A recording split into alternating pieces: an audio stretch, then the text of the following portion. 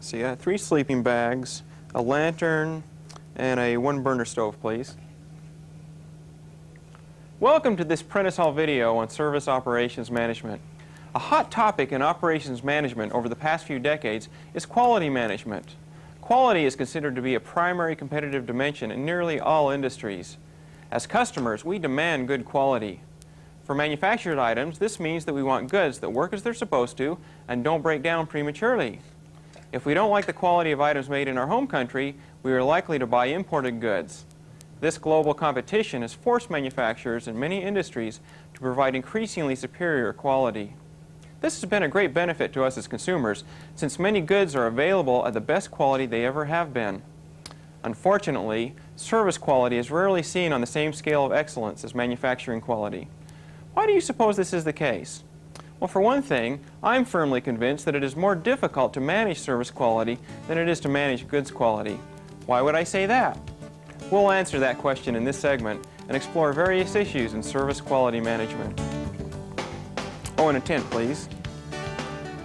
Quality is a major issue for modern organizations. Major strides have been made over the last few decades in manufacturing quality. Manufacturers employ a variety of quality improvement and assurance techniques to provide good quality. Service quality continues to be a challenge in many industries, however. Why? First, it is difficult to define quality in many instances because it is customer specific. For example, students in the same class may have different perceptions of what makes for a high quality class. The second challenge is that it's difficult to measure quality. Service organizations often must rely on subjective customer attitude measurements to determine whether a quality experience has been delivered. For example, customers may be asked to complete comment cards about their experience. A third challenge is quality assurance. Since customers are involved in the delivery of a service, there can be tremendous variability in the final outcome. For example, some customers may require more interaction with employees than other customers. A fourth challenge is the organization's response to quality defects. In manufacturing, if a defect is identified, the decision centers on whether to scrap the item or rework it. In services, it's often a problem to scrap a defect if the customer is involved in the defect. For example, if you have a tooth filled and the filling somehow comes out, usually you don't pull the tooth. Instead, the issue is service recovery, meaning the organization needs to recover from a quality problem. In service recovery, the defect might be attributable solely to the customer, not taking prescribed medicine or writing the wrong account number on a bank deposit slip are examples.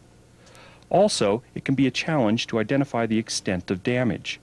Not only has the customer invested money, but there is also the investment of time. The customer's attitude may spill over into negative word of mouth. Let's take the example of service recovery at the Miami University Outdoor Pursuit Center. What do you think might be an appropriate recovery approach for a customer who rented a tent but returns it in damaged condition and demands his money back? He claims it was damaged when he rented it, but you wonder, what if the rental agreement requires customers to check the condition of rented equipment at the time of rental, even though this may not always be followed? One option might be to grant the refund, or the center could give the customer a free future rental.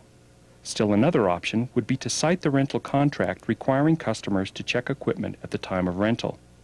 That would imply no refund or compensation. Or perhaps something else could be done. What do you think?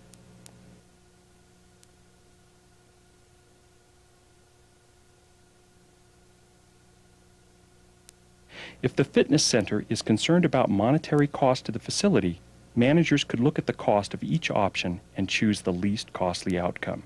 If the fitness center is most concerned about customer goodwill, it will likely let the customer choose the remedy that suits them best.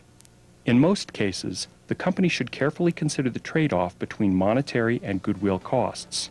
They should not ignore the broad ramifications of lost goodwill.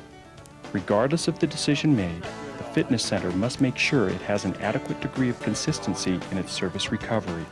If no consistency exists, customers may become upset if similar problems result in different recovery outcomes.